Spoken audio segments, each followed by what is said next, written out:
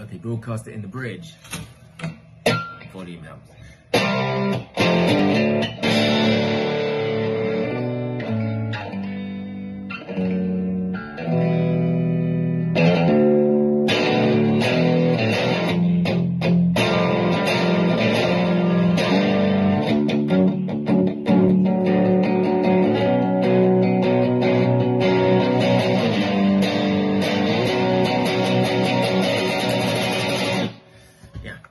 Uh, really nice.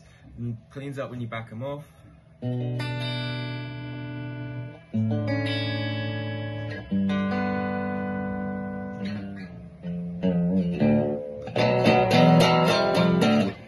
Great, the broadcast uh, literally took it straight from a lap steel and stuck, it in the Tele. It's a great option if you want uh, something that's got a little bit less highs. They're still present, but less highs, a little bit more mids. Lovely.